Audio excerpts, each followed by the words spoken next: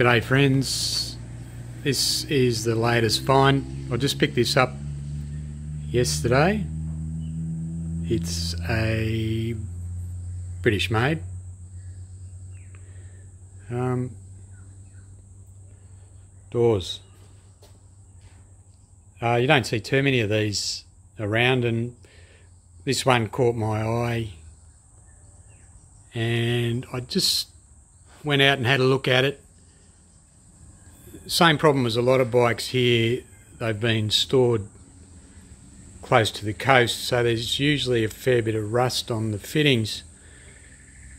Usually it's not too bad on the frames, um, particularly if they've just been sprayed or uh, oiled up at some stage.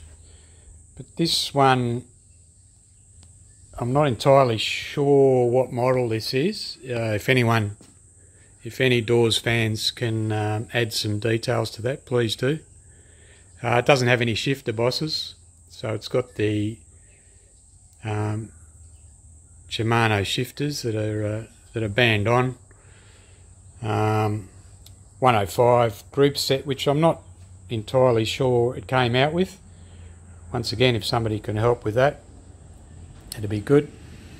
Um, the wheel set obviously is uh, newer and not original. Um, but it's a fairly um, decent sort of a bike for the money. Really like the treatment here of the seat stays as they're joined to that um, seat tube. Uh, there's a fair bit of work in this to bring it up, but I reckon it'll turn out uh, quite nice. Nice uh, GB head stem and bars.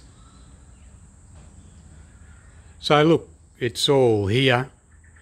Um, just needs a bit of a clean up and and uh, we'll be able to put it back on the road, eh? We'll see how it goes.